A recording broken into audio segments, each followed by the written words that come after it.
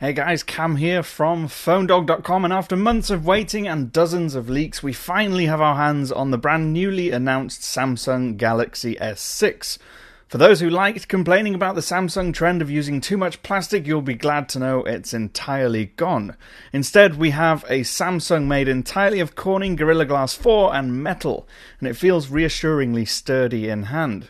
Of course, that comes with a trade off there's no more removable battery, but that 2550 mAh battery inside should prove efficient enough to keep your phone going all day. The metal frame around the edge has a slight curve, and on the bottom edge, there's a 3.5 millimeter headphone jack and a speaker grill, very similar to another phone currently on the market. On the right edge is the power button with a SIM tray beneath that, and the volume buttons are situated on the left edge.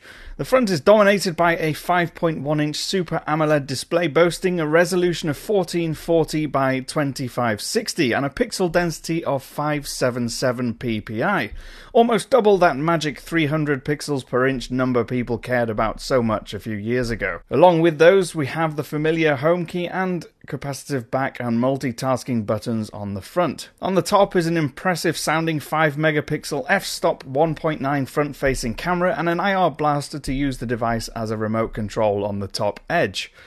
On the back is Samsung's new 16 megapixel camera, which it claims is better than the iPhone 6 Plus at low light performance. It comes with the capability of shooting 4K video and has real time HDR to help even out light levels, and OIS to help keep those images blur free. Powering the device is not a Snapdragon chip. Instead, Samsung has opted for its own Exynos 7420 processor, and that's made up of two quad core chips. One is a 1.5 GHz and the other is 2.1 GHz.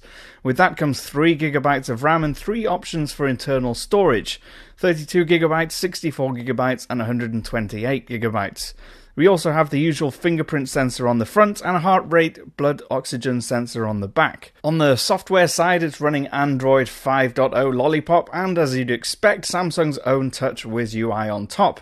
It's not the heaviest skinning from Samsung that I've ever seen, but it's not that much different to what's currently running on the Galaxy Note 4 and size wise it fits nicely in the hand, which isn't surprising given its slender 6.8mm thickness, roughly the same thickness as an iPhone 6. Big talking point for me though is that there's a lot here that you wouldn't expect from a Samsung Galaxy S.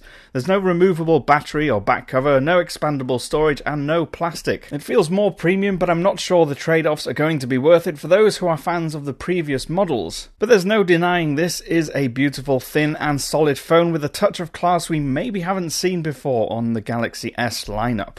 The phones will be out in April and they're going to come in four different colours. I've been Cam, I'm at phonedog underscore Cam on Twitter. Please follow me, tweet me, ask me any questions while I'm out here at MWC, and of course, use those comments down below, and I'll see you again soon.